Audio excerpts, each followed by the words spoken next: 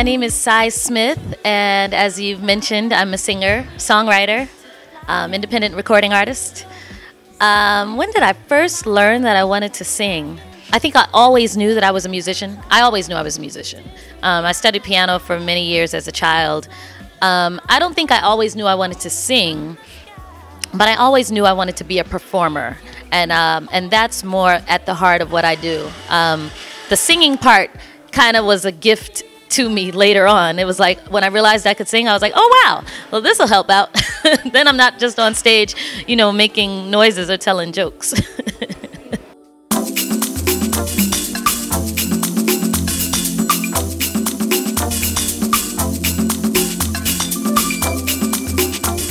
That's a really good question. Um, I keep smiling and I keep moving forward because I am really just happy about life. I'm really joyful, and I and everything that we do, that I do, that we all do, is a blessing, and I never ever take that for granted. And I'm I'm just thankful. I'm forever thankful. Sometimes things get hard.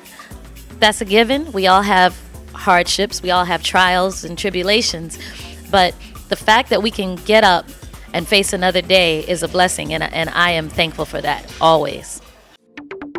Take time.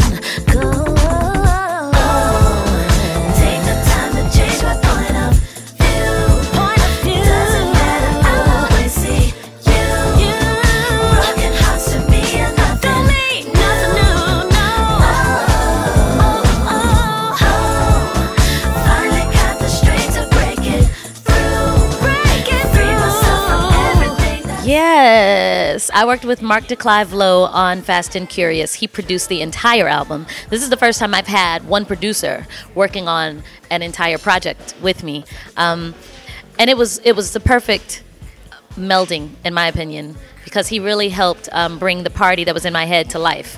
It was like a party in the rainforest on Mars. That's what I was hearing, and that's what I was seeing. And Mark's musical ability, his DJ ability, his um, his jazz sensibility helped bring forth all of the things that I wanted to put into an up-tempo album. I didn't want it to just be an up-tempo album with two chords. You know what I mean? I wanted it to be something interesting musically, something interesting lyrically, um, and something that really spoke to more than just rhythms and pulses. I wanted it to speak to vibrations.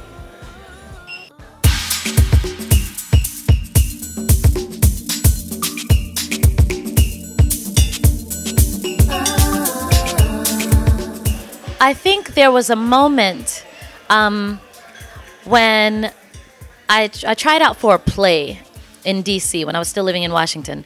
And um, I didn't hear back from the director. I thought I didn't get the part. And I just went on back to work, you know, every day on Capitol Hill for the lobbyist I worked for. And then one day I ran into that same director, like two months after I auditioned for his play. And he said, Oh my goodness, you know, I've been looking for you. I need a lead. For, I'm still looking for a lead for my play. Can you come to California in two weeks? And I, I said on the spot, yes. But in my head, I was thinking, this isn't really going to happen. I'm, he's not sending me to California. This is some bull. But lo and behold, two weeks later, a plane ticket came in the mail. I mean, on paper, a plane ticket. I don't even think they do plane. I didn't even, yeah, plane ticket, paper. And when I got that ticket in the mail, that's when I knew I'm about to move to LA and I'm about to do this and I'm about to stop this working on Capitol Hill because that's not really what I want to do. I'm about to stop this whole Plan B stuff because I never even went to my Plan A. That plane ticket was the moment, I think, for me.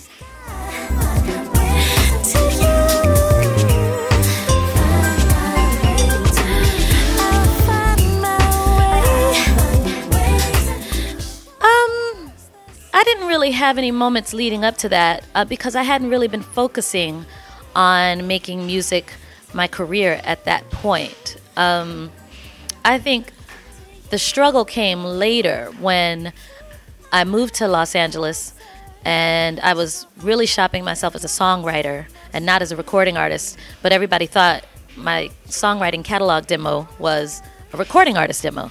And I kept running from that. Not a recording artist. I'm not a recording artist. That was the struggle, me running from something that I knew in the back of my head I really was. Um, finally embracing the artistry part of myself um, was was the win for me because that's when everything started falling into place.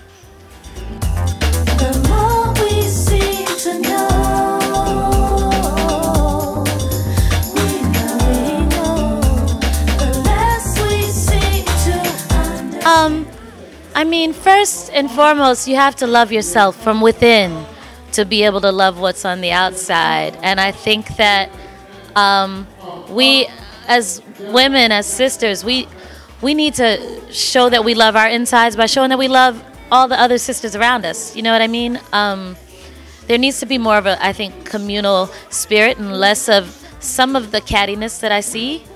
Um, for the most part, though, I think we know that, and I think we do that. We just need to step that love up a little bit. Once you can embrace your inner beauty, I think the outside part is a piece of cake. You know, because because you start to realize that your body is a temple, you know, your spirit is a temple, and you start to take care of it and and and realize that it's beautiful. You know. Coffee, tea,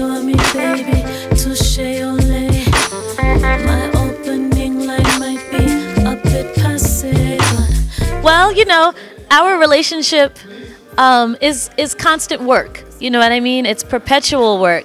You can never sit on your, um, you know, you, you have to you have to constantly sow to reap the love from from whatever relationship you're in. And so I think we're constantly, you know, saying I love you or you know, I try to make him dinner and when I can or he'll cook breakfast and you know, sometimes we just spontaneously dance around the house. Um, it's really about maintaining the love affair, you know, that got the whole thing started in the first place, um, and actively maintaining that, you know. Um, as silly as it sounds, I try to look nice when I'm around the house. it sounds silly, but you know what I mean? I don't mean I put on like a full beat of makeup every day, but you know, I try not to like do like sweatpants and look raggedy when I'm when on the rare days that I'm home because I want my husband to see me, you know, like looking presentable as much as possible. Does that like sound like the opposite of feminist? Maybe, but it's not so much that as it is. I I take pride in in my presentation, and I want him to know that.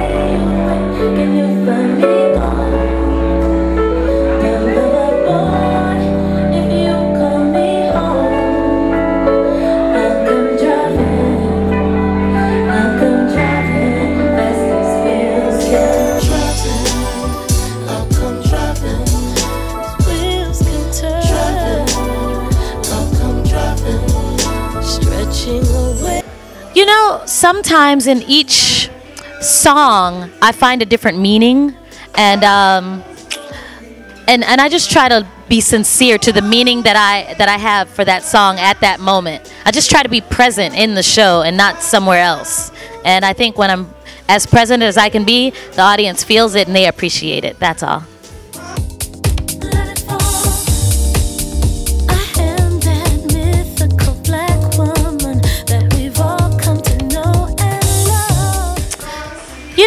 I just want to continue. You know, as an instrument, your voice is always evolving. And I just want to make sure that I am getting all that I can get out of my vocals. Um, as they grow and as the muscle continues to grow, I just want to grow with it, you know? Um, and that goes also with my understanding of life and interpretation of life. I want to make sure that my voice is congruent with my understanding and, and, and um, my, my experience, you know, living.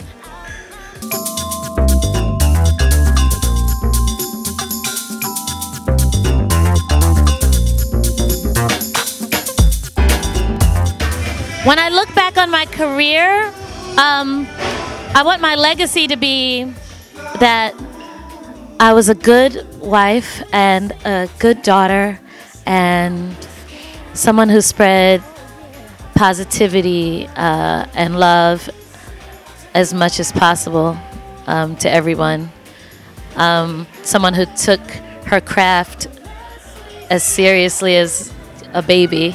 Um, and just somebody, someone who loved love, if that makes sense. What's up, everybody? This is Sy Smith, and you're watching Out Da Box TV. West Side. By and fake this. Oh, people love the sun. People love the sun.